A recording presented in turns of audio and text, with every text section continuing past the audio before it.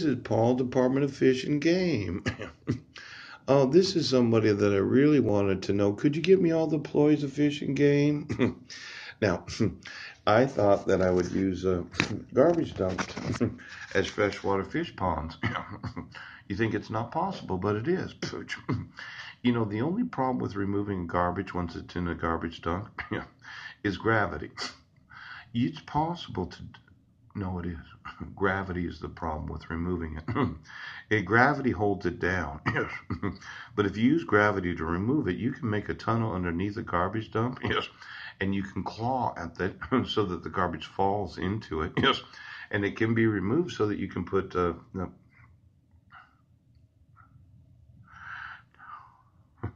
I bought 20 full garbage dumps throughout the United States, and I'm going to own all of them when I get done because I will turn all the garbage dumps into freshwater fish ponds for the fish that will be sold to those that are citizens that want to eat fish.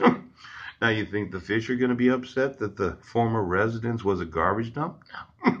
See, when you have the amount of water that I have, yes, I can line, yes, what could be two to three miles, yes, of actual garbage dump that was full of garbage. I can I can tunnel underneath it. I can remove it.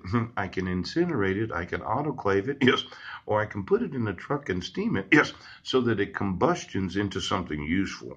now, I'm gonna wind up